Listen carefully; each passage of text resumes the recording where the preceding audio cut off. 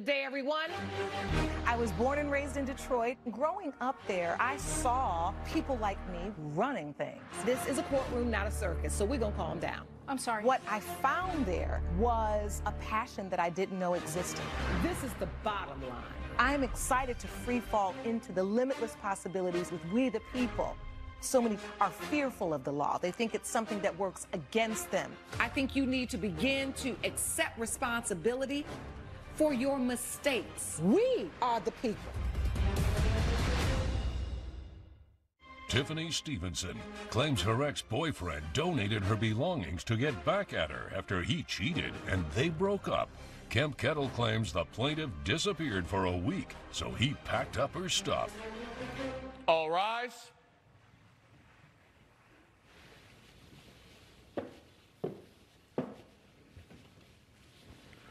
Court is now in session. The Honorable Judge Lauren Lake presiding. You may be seated. Good morning, Your Honor. Good morning. Good day, everyone. Good day, All right, so this is the case of Stevenson versus Kettle. Ms. Stevenson, you are suing Mr. Kettle for $700, the value of clothes you say he gave to the Goodwill unauthorized. Explain. So, Your Honor, like I, I never believed that I would be here or doing anything like this. So, I was living in Atlanta, and I met this man, and I stopped my entire life for him, and I moved here to be with him and everything. And two years in, he cheated on me, and I gave like him a second chance. I allow him to be a better man, to stop what he was doing, to devote himself to our, our family, to us, and everything was fine for a while. And then the day after our third year anniversary, a girl was banging in the front door saying that she was sleeping with him. They had been dating for three months, and I, I was done. I, I can't. I can't be with somebody like this. So I left the apartment. I couldn't see him. I couldn't be near him. His sister lives nearby. We're like best friends. And I stayed with her. And I finally called him and I said, Look, we're done. I cannot be in this relationship anymore. You disrespect me all the time. You cheat on me. I left my entire life for him. I came here without knowing anybody or anything, and I came here for him, and he kept on doing those things. Okay, stop. Okay, Pause. sorry. Mr. Kettle, Yes, ma'am. do you take issue with anything Ms. Stevenson has said thus far? Uh, most of what she said, I take issue with. Yes, Your Honor. Most Um, of it? Most of it, yes. So you weren't in a relationship and then you cheated? No, I wa- well, I was in a relationship with her, a very toxic relationship, and um, she did move in with me to California. Um, and that's when her entire demeanor changed. She used to be very kind and sweet and encouraging to me when we were texting long distance and when I met her at the bar in Atlanta. When she moved in with me, all of a sudden she became very demanding, very demeaning. So I admit that I made Let some finish, mistakes in this relationship. I should have, rather than find emotional and mental like well-being in someone else, I should have found the courage to end the relationship beforehand. Okay, didn't I just say, do you agree with what she said? And you said no, and then you just sat up here and just recited exactly pretty much what she said. You were in a relationship, it started going kind of bad, and you cheated. I was not in a relationship that went bad. I was in a toxic relationship, A and I did not. toxic relationships are bad. So take me to the part where you leave and somehow he does something with your clothes. He takes them to the Goodwill. So no, he, he donated. I don't, I don't know what happened. He donated. That's what he said. Like I'm not sure exactly how it happened. That's what he said. So what happened is after I was at his sister's house, where like we're best friends. I was staying with her, and she was like, I don't know how.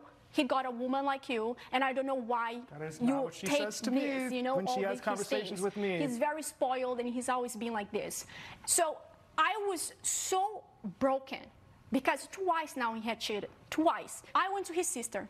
After like two, three days, I called him and I said, We're done. I cannot be in a relationship with you anymore. This is like really toxic. This is not good for me. I need some time What off. What did he say when you told him you can't be in the relationship anymore? he, he begged me to stay. I he was like, not beg- please, I- like that's not true. I did not beg you to stay. he I begged said me. I wish his sister was here. She couldn't come here. I tried to get her here. She couldn't come here. His sister saw. He was begging me, That's begging not me true. to stay. That is you not elevate my life. You make me better. You make me a better man. I want you to be a better man. And he brings the worst in me. He brings the worst in me. Your Honor, I tried really hard to make it work, to do everything, but he cheats on me. I have a text message, Your Honor. You can Let see me see that. the evidence, Please, Sean. please see. He called me promiscuous. Me. I, I never looked to anybody. I never did not anything. I never true. gave him a reason for him to, to None call of me this that. is So these true, are Your text Honor. messages from Mr. Kettle to you. Yeah, between us. Hey, I can't unlock the door. Can you open it? I'm So- not home. I, I, I gave him, when I called him, we decided, look, I'm going to look for a place to live. But it's California and it's hard, so give me a little time to find. You so, said I need to come shower and change my clothes. Exactly. I pay for one month to stay, and I said, we're not going to be in a relationship. We're going to be room, like, not roommates, but like, we're going to live together until I find a place. And he said, This is okay. after you left with the sister? You Yes. came back. Yes. Coming up. Finally, when I could get in, he was standing there, and then he was like, "You have 20 minutes, go." And I'm trying to get my stuff, and when I look, almost everything that I had was in trash bags, all piled up in the corner. We're back with exes Tiffany Stevenson and Kemp Kettle, who are in court fighting over lost belongings. Mr. Kettle, so you told her you have some nerve. yes, this is I haven't heard from you in a week, and now you want to move uh, quick since you're back. I was worried about you. These so you text were worried when she disappeared. Yes, these text messages are actually from late, from after we had already broken up and established that she was going to stay in the apartment until she found a place. Then she went to a bar with my sister and disappeared for a week. I texted her. I called her. It was four days. Your I- Honor, I can explain what happened. It was four days. So what happened is this. I, after I talked with him, I was crying. I was kind of like in a depressive mode. His sister said, like, let's cheer you up, let's put music, let's go out. And I was like, okay, let's go out. We went out. I was in the bar and I met this guy called John. And I don't know if you ever met somebody that you feel like you live another life with that person because it's so like common and it's so safe and it's so nice. And we kept talking, me, him, and Tia. We, the three of us were talking, having all the stuff. All right. So he invited me to spend a few days in Tahoe. I have never, On the night you met him? on the night I met Your him, Honor. I came back and I went to my apartment where I pay rent for one month. I put the key in, the key wouldn't work. The key wouldn't work. And I tried many times. I text him, I'm trying to get home. I need to go change. I need to get my stuff. He's not answering. He's ignoring me. And Then he was like, Yeah, I changed the key lock. I did all the stuff. I couldn't get in into my own apartment. That you paid rent for? I paid rent Was your name on the lease? No. no. because what happened is he lives in a place that is rent control, and when we came in, I came in after I went to his apartment. If you put me on the lease, the rent goes higher and then changes everything. So he was like, "Let's keep you without the lease, so the rent is lower, because it's a rent control thing." And I was like, "Oh, okay. I want the best for us, so if we can save money, let's do it." I couldn't get in. And then So what happened? I text him, nothing, nothing from him. I went That's to his not sister. true. I texted you right te- back. No, you text me later. I went, I'll give you a chance to respond, Mr. Thank you, Your Honor. I went to his sister and I'm trying for 48 hours. I couldn't get into the apartment. Finally, when I could get in, he was standing there and then he was like, You have 20 minutes, go. And I was like, okay. And, and it, I was already like, it was such a weird situation because it's been three years and I'm trying to get my stuff. And when I look, almost everything that I had was in trash bags, all piled up in the corner. And he was like, you can't just get and go. And it's Did like, you have her things in a trash bag, Mr. Kettle? No, Your Honor. I had her things in a series of duffel bags that I had set neatly by the front door in the hallway. What had actually happened was she left for Tahoe for about a week. I did not know what was going on with her. I texted her several times because our agreement was that she would stay in the apartment until she found a place of her own. That was the agreement. So I'm not hearing anything from her for a week. I make a group chat with her and my sister. Um, I'm saying, you know, if you don't hear back from Tiff in a day or so, I'm going to file a missing persons report because I don't know what's going on with her. You're genuinely worried. I'm genuinely worried. Do you have any evidence you brought today? I do, yes, Your Honor. I May I have see these it? text messages. chains. And these text messages are presented to the court to show what? To show that I did text her several times while she was gone. She did not respond to any of those text messages. Honor, Tiff, are you okay? Why aren't you answering my calls? It's been three days. Where are you? Just let me know you're okay. Text me or Tia if you're okay. It's been a week. This is crazy. Please respond. I'm worried about you. Your Honor, may I answer, please? No. Like, Uh, hey, Tia, if I don't hear from you, Tiffany, I'm going to file a missing persons report. It's been two days. Hey, bro, Tiffany just texted me. She says she's okay and we'll be home later. Can you tell her to answer my text? I'm worried about her. She said, don't worry, she's home soon. So the bottom line is you were blowing her up because you thought something had happened to her when she disappeared for a week. I did. Did you change the locks on the door? I did, Your Honor. I and did change you the locks. change the locks? You're so worried about her. I This was- is where she lives and her things are, but you changed the locks. I was worried about her, and then I got that message from my sister Tia that said she's fine. But sh- so I'm assuming that, okay, well, she's fine. She hasn't responded to me. She hasn't communicated to me. So I'm assuming she's not coming back. She has gone off for a few days before and not communicated. So I'm assuming You're she's not. You, it, Miss, Miss, Miss. Oh, Mr. Kettle, I wasn't born yesterday. You were not assuming that she was never coming back. All her things were there. You were assuming that she was with another man, and you were furious about it. So you changed the lock so she couldn't get in the house. that is not true, Your Honor. I was assuming that she had found another place, like we had discussed. How? So, so she found another place and was never going to have to be able to get into that place to get her things. I, I welcomed her to get back to get her things. So The- get uh, take me to that part. When Okay. did you say you can come get your things? Because I already see what's happening. I mean, I. Uh, uh, this I is was- obvious. This is obvious. This is classic breakup. You getting back at him, then of course you know y'all men can dish it out. You can't take it. So then once she went off, then you got mad and changed the locks. And then once she changed the lock, she couldn't get back in. Coming up, Were you paying money though out of your own pocket for the Yes. rent, or were you giving it directly to him? to him. Okay. Did you bring any proof of that? No, it was 9:35, like every Worse month. I was to given- worse. I know. Okay, It's like, why would I write anything? This is the man of my life. This is like my future husband. network featuring dynamic judges and live legal programming, Well, we're not at your school, we're in my courtroom. unique court shows, Where is any information about the company? live legal news, That's what you should have done. and a commitment to justice. Either you tried or you did it. The next generation of court programming in one dynamic network. Justice Central. You're watching Justice Central. Stay tuned. You're watching Justice Central. You're watching We the People with Judge Lauren Lake. We're back with exes Tiffany Stevenson and Kemp Kettle, who are in court fighting over lost belongings. So how much time did you give her to get in to, to get her stuff, or did you give her any time? This is too classic for me. I did give her time to get her stuff. What she is referring to, those 48 hours, I was away on a work trip.